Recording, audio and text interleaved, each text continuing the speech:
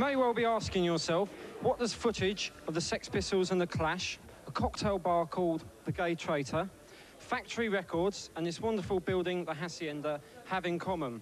Well, the answer is one man, which is this man here, Tony Wilson, who, as well as being boss of Factory Records and co-founder of the Hacienda, is also a TV presenter for Granada and started uh, the TV programme So It Goes that just had the footage of the Sex Pistols and Clash you saw. I'm blushing, aren't I? I'm blushing, So- I'm sorry. Tony, Yes, yes, how, Tony. how did you get about starting Factory Records? Tell us, tell us the story behind that. Stiff Chiswick Challenge. Stiff which Chiswick is- Challenge, Morley's going on about it. Um, I just started it. when So It Goes finished after two seasons, quite rightly, because Granada were tired of people with horses' tails sticking out of their arses, which I think was the way they described Iggy Pop.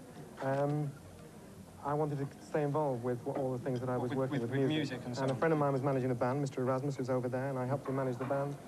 And we needed a gig for somewhere to play, and then needed a record company. It's called Praxis, but we won't go into that because it's really not the So fa- Factory's been been really successful, and you ended up building building a hacienda. There's one thing that everybody is always asking us: why you call it a hacienda?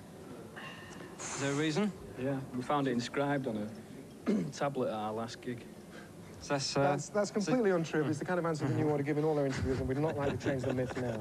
this is, by the way, Peter Hook from New Order. Um, for those those viewers who might not know. Those of you who um, didn't see Kevin's wonderful pictures of him on the Now, obviously, you've been really successful with Factory, with Joy Division and New Order. Mm-hmm. What about the other groups that's, that are on the label that haven't done quite so well? Do you think there's a reason why? Stockholm Monsters, yeah, and the, the many others. Mm. I think we got a problem.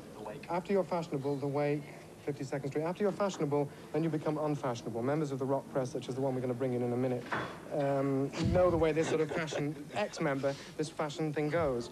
And we suffered very badly from it because we were so successful and so notorious and well known.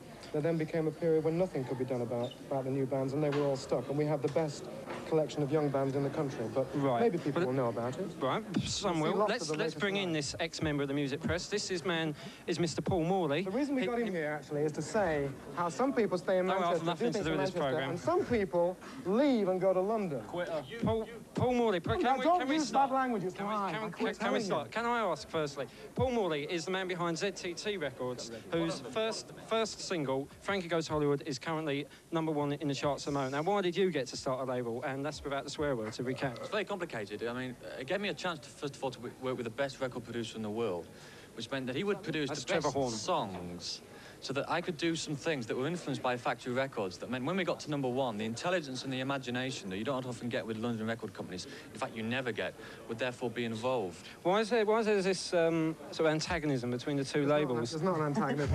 As you can see, he just mentioned us, and the fact that he gives any reference to us in the wonderful thing that he's doing gives me a great deal of pleasure. I mean, we both have this, we're theoretically very similar, Paul and Exactly. I mean, most groups always say about their biggest influences. As a record label, the biggest influence in terms of its presentation was definitely Factory.